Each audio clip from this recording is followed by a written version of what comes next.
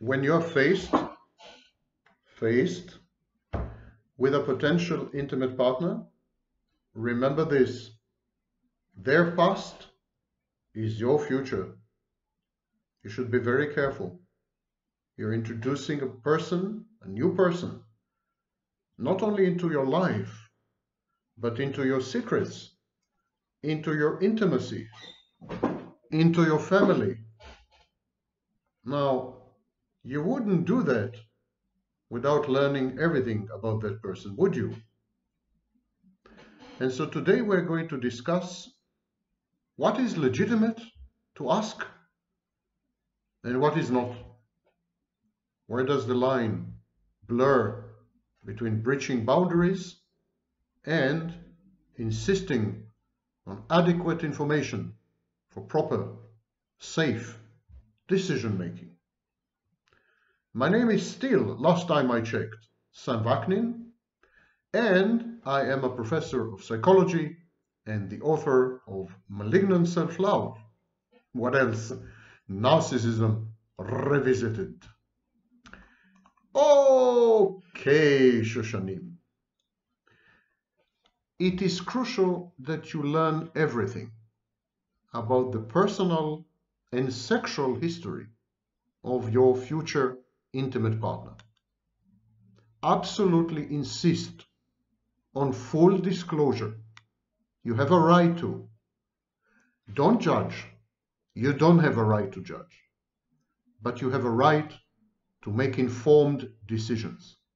And informed decisions mean information first, decisions later. No one gives you the right to judge choices that your possible potential intimate partner had made earlier in life. You were not there, and she did not design her life to fit your prejudices, your expectations, your wishes, and your fantasies, and that's quite okay. You're not here to serve as a tribunal on her moral conduct or laxity on his um, good judgment or not. You're here to gather the information that you need to decide whether to become one with this new person in a unit, in a collaborative team, in a lifelong pattern of intimacy. You know, it's not about, it's not only about alcoholism in the past, promiscuity in the past, criminal record. It's not only about these things. It's not only about finding out the dark, shadowy, penumbral aspects of your potential intimate partner. These are, of course, very relevant and they should inform your decision. But it's, a, it's more about finding out the experience, the life experience of this partner and her personality. For example, I would hesitate very much to go into a couple or to form a dyad with a war correspondent.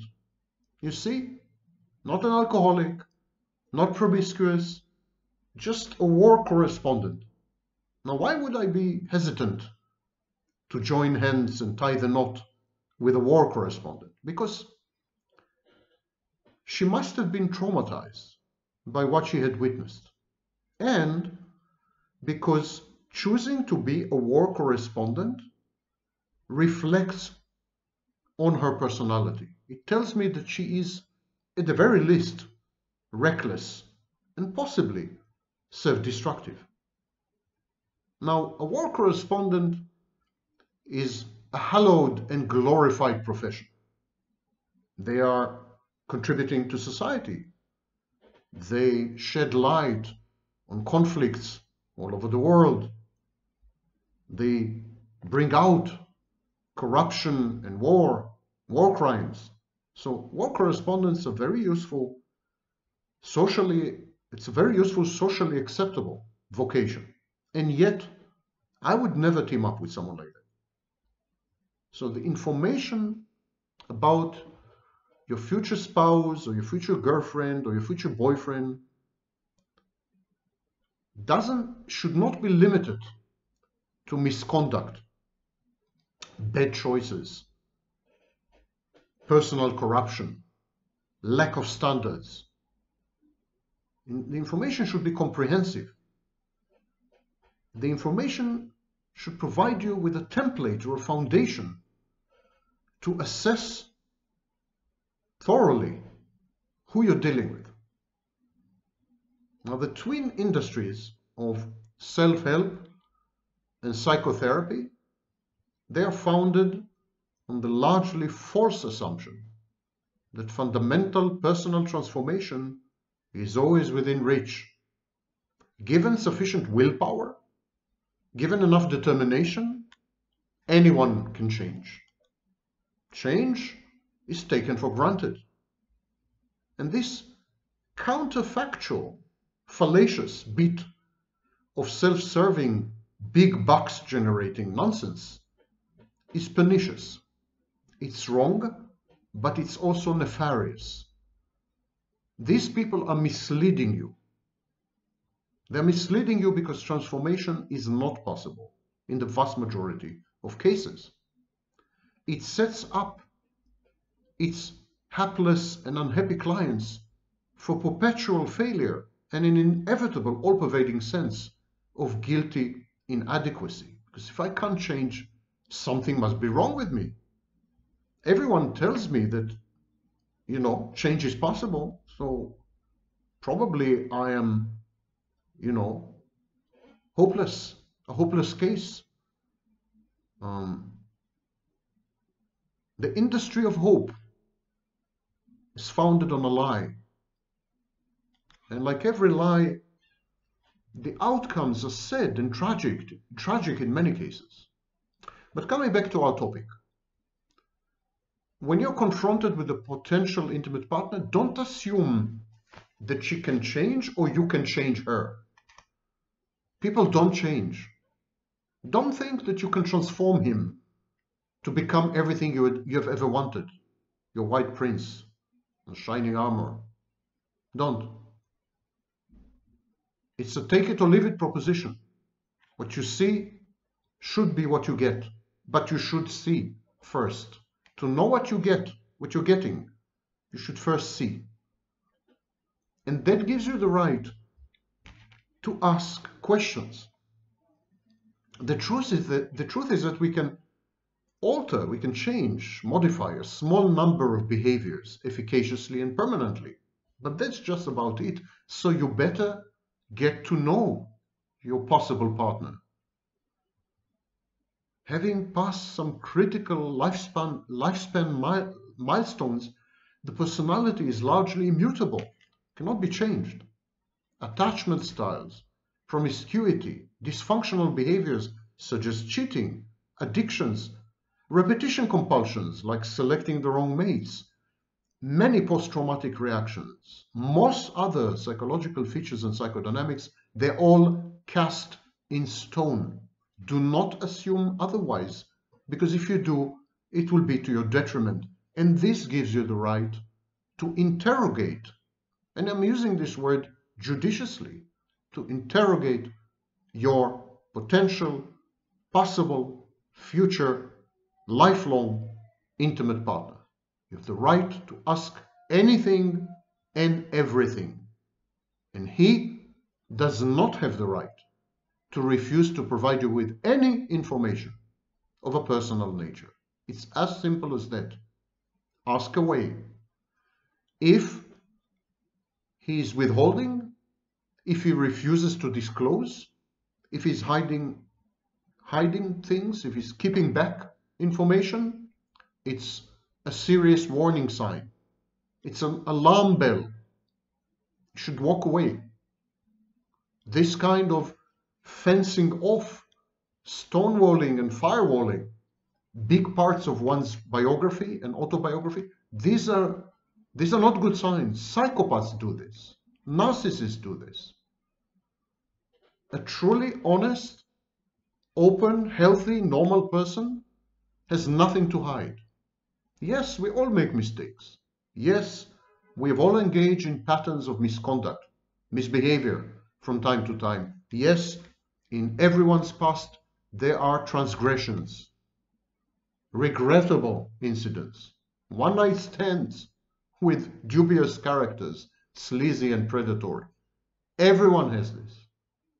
But the healthy, normal, balanced, safe person doesn't hesitate to talk about these things, doesn't hide them, doesn't cower in the corner, protective and defensive, doesn't become indignant and aggressive when you ask questions. If any of these things happen, I strongly advise you to walk away because people don't change. And the best predictor and prognosticator of future behavior is still past behavior. Past behavior tells you everything you need to know about your future together with this person. Consider promiscuity, for example. The following facts, facts, are not manosphere uh, anecdotes. They're facts. There were findings in multiple studies. Socially unrestricted folks, casual sex practitioners, are three to 10 times more likely to divorce. Um, the reasons these people give for settling down after a spree of sex with multiple strangers, these reasons are all wrong. They say they are exhausted. They say they're interested in financial security or in sharing the burden of existence.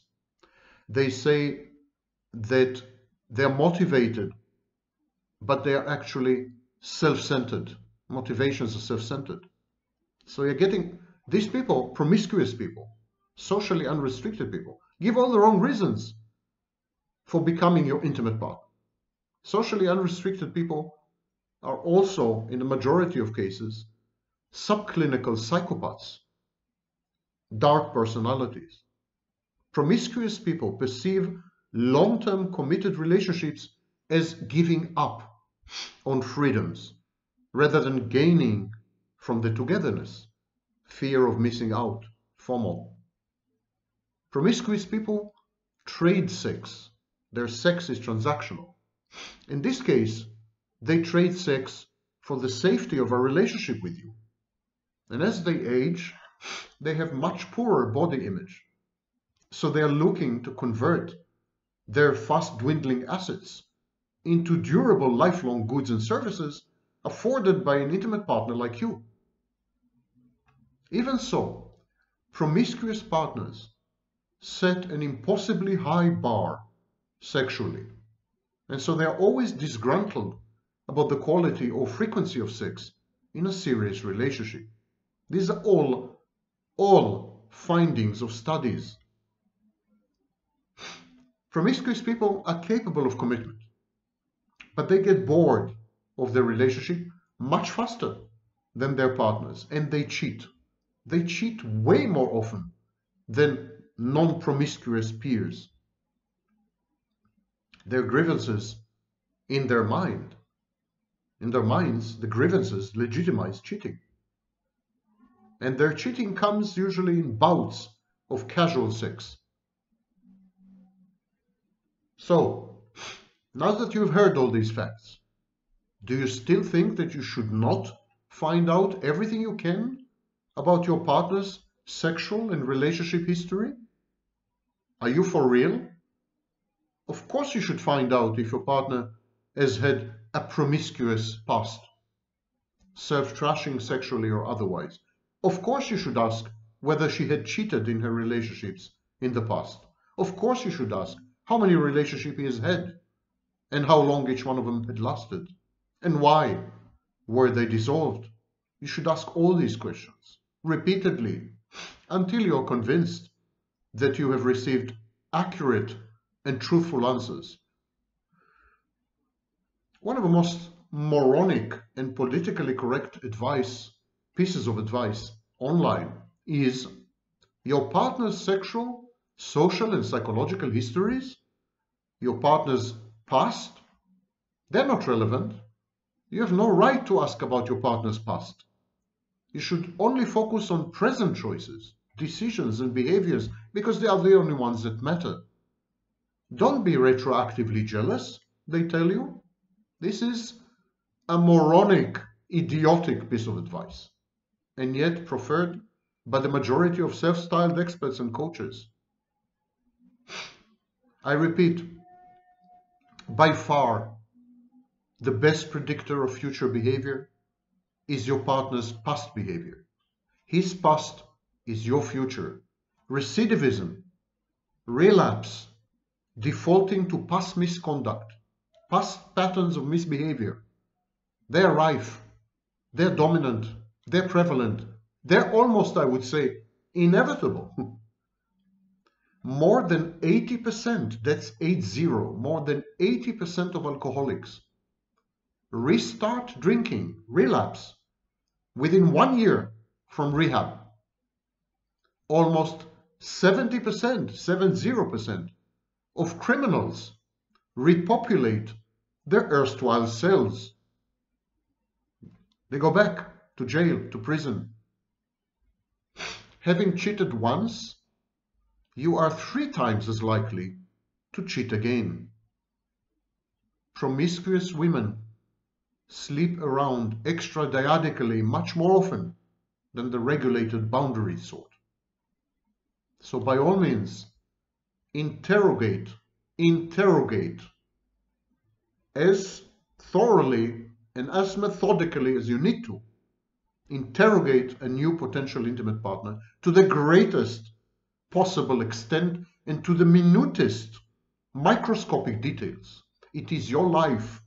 It is your only protection against future seriously nasty surprises that can unravel you. Actually, reality supports what I'm saying. People do base their decisions on their partner's self-disclosed past, including and especially sexual past.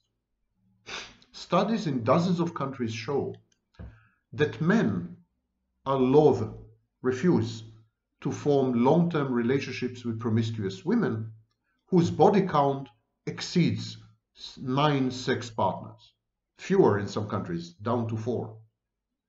Why do women refuse to have relationships or long-term relationships with women who had slept with nine men or four men, lifelong, let alone women who had slept with 30 or 40 or 50?